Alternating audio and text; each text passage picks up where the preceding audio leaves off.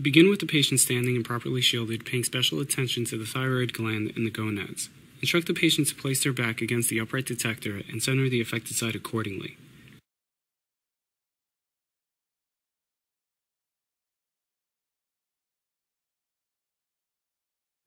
Bring the tube over and lock it in place.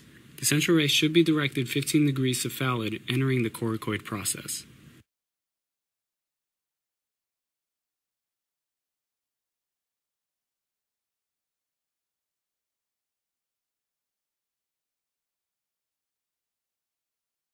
Collimate is needed, and be sure to place the marker above the shoulder just within the light field.